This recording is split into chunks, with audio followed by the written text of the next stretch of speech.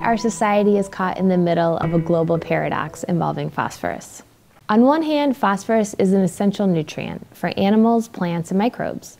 It's as fundamental to life as carbon, water, and nitrogen. It even makes up a part of our DNA. Phosphorus is so essential to biological activity that plants rely on it for growth, and because of this, phosphorus drives crop yields in our agricultural and food systems. At the same time, phosphorus is currently sourced from non renewable resources, where it's mined from phosphate rock. Actually, as a fun fact, there's even a phosphate mine located on the east coast of North Carolina. Other phosphate mines in the U.S. are located in Florida, Idaho, and Utah. While there's some debate on when these resources will be exhausted, many scientists now believe that our phosphate rock reserves in the U.S. will be exhausted in about a generation. Using mine phosphate, we also know that only 20% of the phosphorus applied in agriculture and entering the food system ends up being incorporated into the human diet. This is obviously an extremely inefficient system, and the reason for these inefficiencies relate to the loss of phosphorus from the food chain through binding to soils, transfers to animal waste, and runoff from agriculture. Now, I know this figure is rather complex, but it's also important to take a closer look at the inefficiencies within the global phosphorus flows. So first, starting with the mining of phosphate rock, we can see that phosphorus is consumed in a very linear way and primarily used in agricultural fertilizers. Second, these inputs into the agriculture system far exceed the outputs, and large amounts of phosphorus are left in the soil, leading to legacy phosphorus in soils.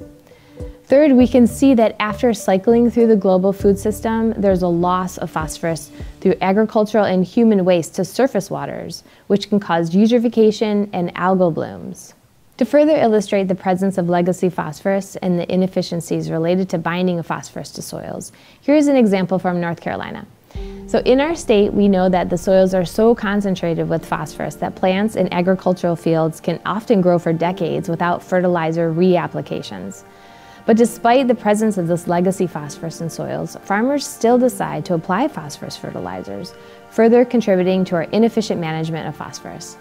And to illustrate inefficiencies due to the loss of phosphorus to surface waters, too much phosphorus in the environment can lead to algal blooms, eutrophication, and even fish kills from depleted oxygen levels. The picture on the right is a fish kill event originating from phosphorus pollution.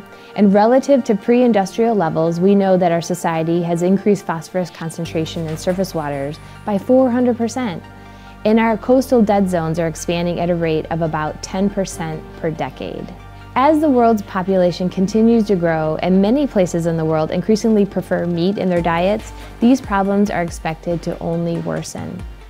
So on one hand, we rely heavily on phosphorus to support our societies, largely through agriculture production. But on the other, it's a non-renewable resource that may be exhausted in about a decade. There are extreme inefficiencies in our phosphorus management system, and it's resulting in water pollution and ecological damage. Now, how are we going to balance all of this information together to manage our phosphorus supplies effectively and sustainably? And because there are so many different pieces of the phosphorus sustainability puzzle, some have even called this a wicked problem. And to solve wicked problems, we need new interdisciplinary solutions. Such interdisciplinary solutions for phosphorus management are being developed in a new NSF-funded Science and Technology Center headquartered here at NC State. This center is called the Science and Technologies for Phosphorus Sustainability, or STEPS Center. STEP's headquarters are located in the new Plant Science Building on Centennial campus. The STEPS Center is in partnership with seven other universities and research institutions. And currently, STEPS has around 40 senior investigators, 40 graduate students and postdocs, as well as undergraduate students. As mentioned, managing phosphorus is a wicked challenge and requires interdisciplinary solutions. Our STEPS Center is therefore guided by the long-term vision of a 25% reduction in mined phosphates and a 25% reduction in phosphorus losses to soils and water, all within a 25-year time span.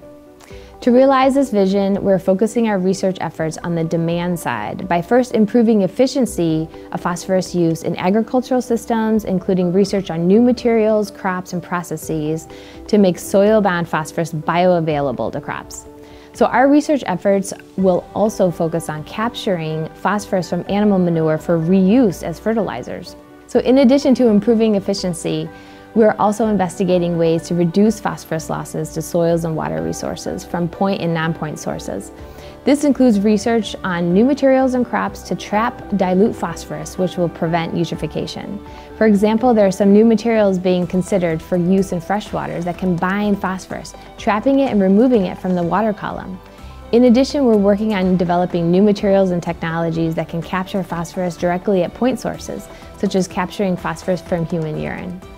STEPS research, in fact, spans 17 orders of magnitude and length scale, which extends all the way from the nanoscale to human technology scale and regional and global scales. Across these orders of magnitude, we're developing new materials and processes to capture, recover, and reuse phosphorus from surface waters, wastewaters, manure, and soils. In implementing these new technologies and materials in surface waters and the plant soil microbial systems using lab, greenhouse, and field scale techniques. I should also mention that because managing phosphorus is a wicked challenge, we know that science and technologies will not be enough. Rather, we recognize the importance of combining science, technology, and innovation, along with social sciences, communication, and stakeholder engagement. For this reason, we have four pillars that are designed to help ensure that our science and research is as societally relevant and sustainable as possible. This includes stakeholder engagement, in which we're engaging external stakeholders through a set of formalized processes convergence research that enables synergies and collaboration throughout the center, education, where we're training and educating researchers and students in convergence research related to sustainable phosphorus management, and diversity, where we're involving more than 50% of STEPS members to be women and members of systemically excluded groups. So in conclusion, we know that managing phosphorus in food and agriculture production, the environment, and society is a wicked challenge and requires interdisciplinary solutions. Through our center, researchers and stakeholders are collaborating together to develop and co-create solutions. These solutions will ultimately reduce our dependence on mine phosphates through improved efficiencies to better utilize and reuse phosphorus from waste, as well as reduce phosphorus losses to the environment through the development of new materials and technologies to create more sustainable systems. If you would like to become engaged with the STEPS Center or learn more about what we're doing to improve phosphorus sustainability, you can follow us on social media and check out our website for news and information. Among other opportunities, we'll be hiring graduate students, postdocs, as well as recruiting undergraduate students to become involved in several research projects. We also host several open house events where students, faculty, and members of the public are welcome to attend, listen to a seminar talk, and engage with members of the center. And finally, you're always welcome to contact us for more information about the center and ways to help solve the wicked challenges of our phosphorus paradox.